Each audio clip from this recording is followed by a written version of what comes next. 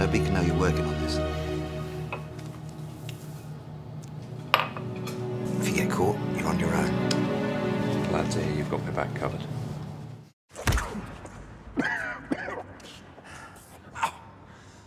Just tell us where the boy is.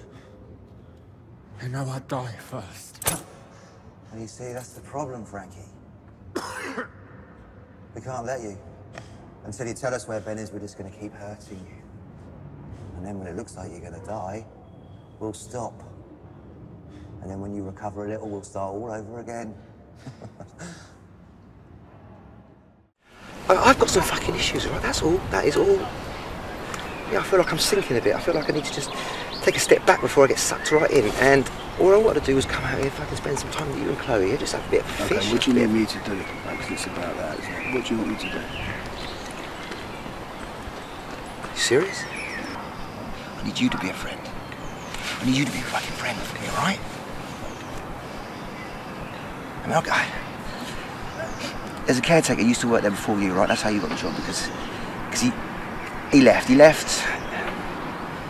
You know, and he took some liberties when he left, right? Oh, bit of a plug, if I could. Do you mind? This is the new album. Look at that.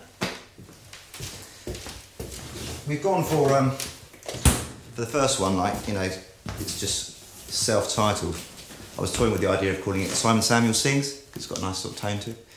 But you know, I've got these advisors, and they said just roll with Simon Samuels just for the you know self-titled. That'll do the trick for the first one.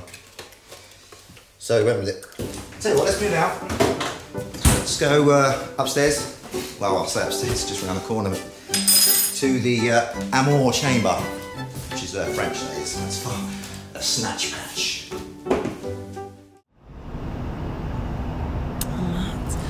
What are we doing?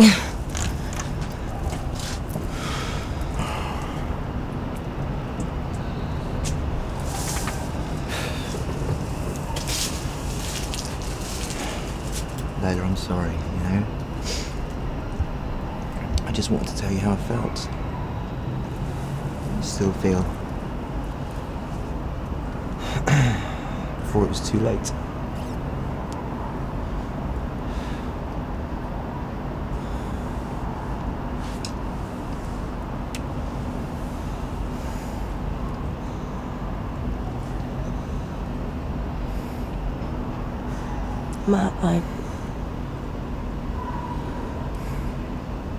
If things were different,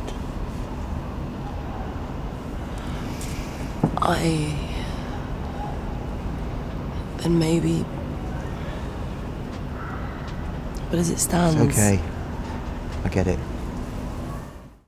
one's going to attack you at the job centre, Charlie. No, but someone might attack me outside the job centre. Who's going to attack you outside the job centre? Well, somebody thinks I'm competition. Competition for what? I don't know, a job maybe?